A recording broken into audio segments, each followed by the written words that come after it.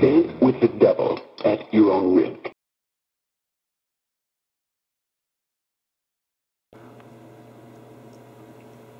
Alright, hello everybody, this is Nick from thearcadehunters.com. I'm back once again at Generations Beyond here in Ronkonkoma, New York, home of the Long Island Arcade Club. This is uh, one of Brendan's games that he owns in his collection from 1990. This is Roller Games. This game was um, kind of a history behind this, you know. A lot of people out there, if you're uh, younger, you know, if you weren't in the 80s and the 90s, this was actually based off of a roller derby TV show called Roller Games, and a lot of people might remember there was also um, a couple of video games came out. I'm pretty sure there was an arcade game, but a lot of people will know of the very infamous game that Konami made on the Nintendo Entertainment System. And um, I guess they were trying just to get their name out. And what was funny was they were actually saying when they were going for the uh, choice of licenses with the game, they had the choice of roller games, and they also had the choice of American Gladiators. And I guess they just said, you know, I guess roller derby sounded like a better idea for pinball because, you know, you're obviously rolling around the ball and you're rolling around on roller skates, so they went with that instead of having uh, American Gladiators game. And I think what they were saying, uh, what Brendan was telling me, was that, you know, when uh, they were literally, you know, these games were coming off the assembly line and the show was just canceled, so kind of unfortunate that it happened, but um, it's obviously a very popular game because, uh, you know, Steve Ritchie is the designer of it, and this was actually supposed to be uh, rumored that this was going to be a sequel to High Speed, and you know, obviously it became this. So, yeah, have right here, you're right there. It's uh, this says multi-ball on there, and that's war. And you want to spell out war, you have to knock those down, and right here on the right flipper, you'll write up here into the wall of death Right there, there's the wall of death, and you'll write up the wall of death, and that is for your multi-ball, and you can stack up three multi-balls, uh, three balls in there, and you'll start the multi-ball. Uh, right here, one of the very important uh, features is the pit. Now this will kick out onto this yellow, this yellow ramp, and there is a little magnet right there. And that magnet will actually stay on, hold the ball for three seconds, and then you have to flip it. And thankfully, um, we had gotten um, brand new uh, flippers on this game, so it hits pretty much almost every time. It's got uh, probably about like a 90 to 85% accuracy on it. And one of the worst things about this game is while it'll never make a plastic set for it, as you can see, it has licensed property, so it's licensed by Pepsi, Mug Root Beer, Thermos, Slice, and this is one of my favorites, yes, GamePro Magazine was a sponsor of roller games, so and it's actually over here, it actually says GamePro, Thermos, Pepsi.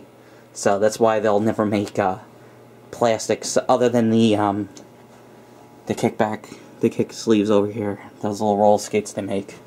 So, you know, it being a Steve Ritchie game, it's a lot, it's super fast. It's got a lot of cool combo shots that you can do. You get the devastating combo, where if you shoot the left ramp for the getaway, and you shoot right into the wall of death, you'll get a devastating bonus. So, it's a pretty cool game. Don't knock the theme. I know a lot of people will see this game, and if they remember the NES game, they'll probably be turned off by it.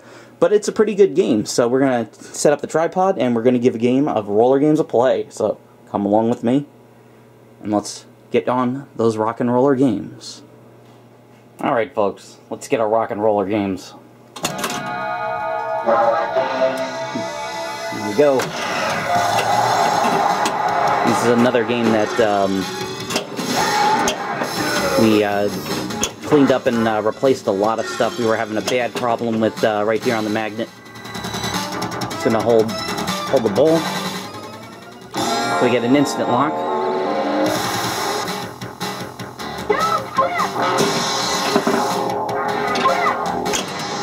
Let's see if can get it up there. Yeah, we got the... Oh, it's already got two balls locked. So here we go. We got the multi-ball right on camera. So one thing that uh, you can set in the game if um, the game stays on or not, keep the uh, balls that were already locked. And of course we want to get the uh, the wall on the on the other flipper to get the jackpot. It's a Steve Ritchie game. What do you expect? It's going to be balls hard. See if I can get it. Nope. You gave it to me. There we go.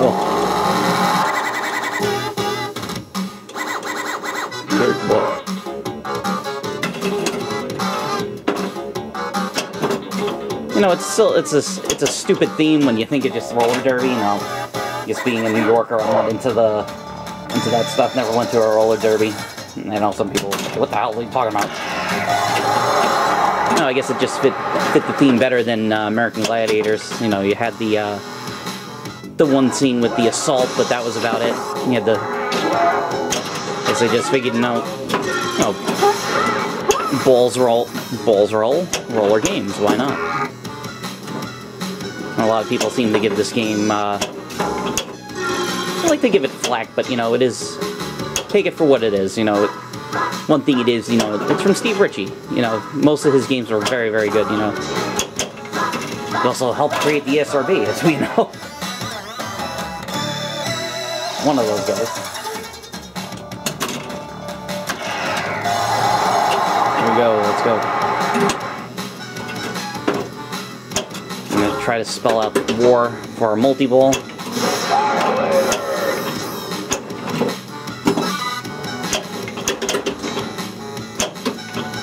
Come.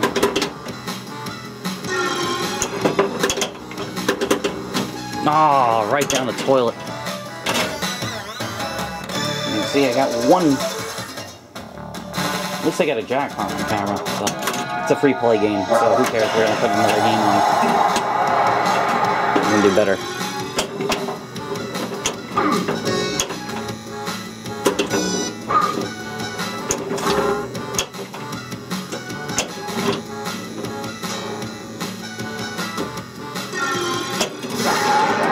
You got the gateway.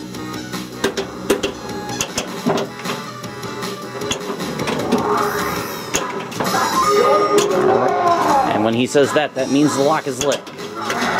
Oh, cool! I just got the uh, the kick save. Oh, should should have nudged it. Still trying to get used to the move setup, guys. So push a little bit forward. My chin's kind of hitting me, uh, hitting the camera. Come on. Come on. Here we go.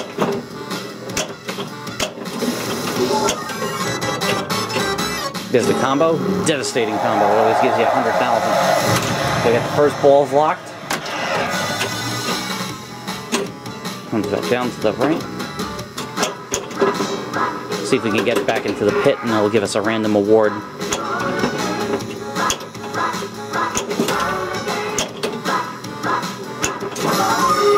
We got the lock enabled again. So now I really want the uh, magnet. Magnet is very, very helpful. There we go. See what the roll motion is going to give us. We got another teamlet. And a magnets on, so let's see if that'll help us. And yes, it did. So we got our second, second ball lock. Come screen back down. That was a bad idea for a short plunge.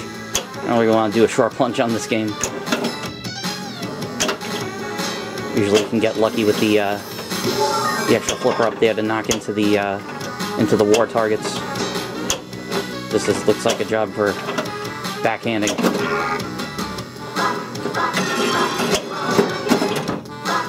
Good sound and uh, hopefully it says uh, Dan Toasty Forden did the uh, sound, so hopefully that means he also did the music.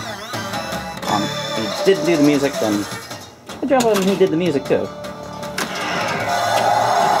Doing absolutely terrible on this ball.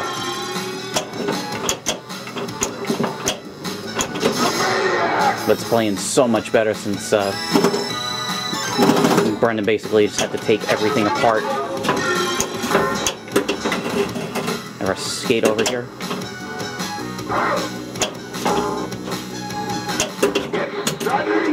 Alright, now we have the sudden death, which is, you know, we have to do the wall. I'm gonna go for the wall. Every time I shoot the wall, it's a million points. The sudden death, one million. The best thing is they always put the magnet on, so if you can keep doing the magnet shot, and if I can get the war, not only will it start multi-ball, but now I have my lock enabled. Now I'm really on the gun. I'm not try to get control.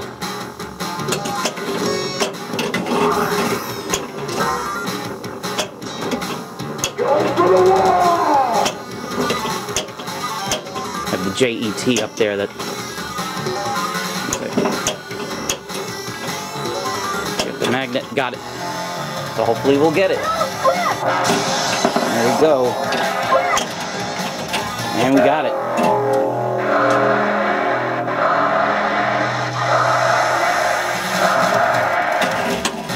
They come.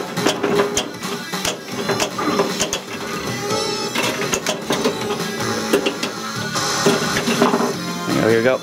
Got it. Good for a 1.6 million. Ah.